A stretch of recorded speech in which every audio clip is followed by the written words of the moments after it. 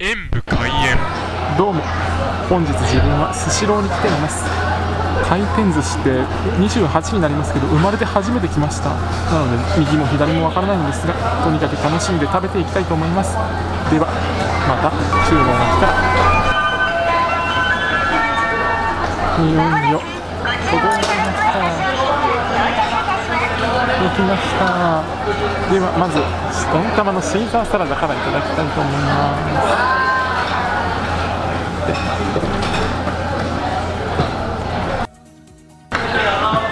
野菜がシャキシャキしていてとっても美味しかったですお寿司屋さんでございますね。そしていよいよお寿司の日まずは普通のナストマトバジル寿司というものを食べてみたいと思います。野菜のお寿司なんてあるんですね。ではいただきます。ナスが意外と歯ごたえがあってご飯もちょっと胡椒が効いていますね。それにうまく絡んでいてとてもおしゃれ続きましてはこちらのバイトロというものを食べてみたいと思います。結構大きいですね。ご飯がちっちゃく見えちゃいます。ではいただきます。油がすごくとろけていて口の中にぶわっと広がってとても美味しかったですご飯がちょっと少なめな気がしながらあれぐらいがちょうどいいのかもしれませんね。では続きましてはこちらの縁側を食べてみたいと思います。縁側って食べるの初めてな気がしますね。いただきます。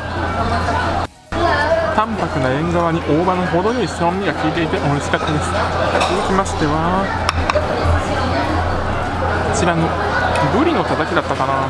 こちらを食べてみたいと思います。なんか肉厚なブリを噛みしめるとうまみが口の中にぐわっと広がります。美味しいです。続きましてはちょっと変わり種の。黒毛和牛のランプステーキというものを食べてみたいと思います。でお肉入ってないし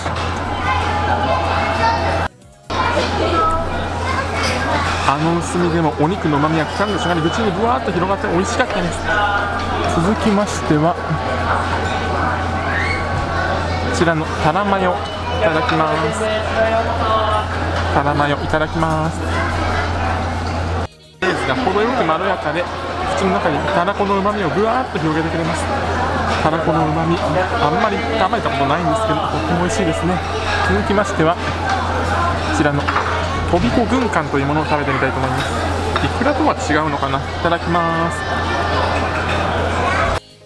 中でプチプチプチっと爽快な音がはじけてきます。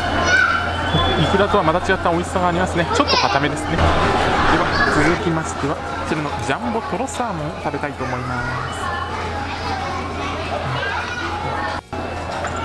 サーモンのうまみが口の中にとろーっと広がっていて美味しいですね。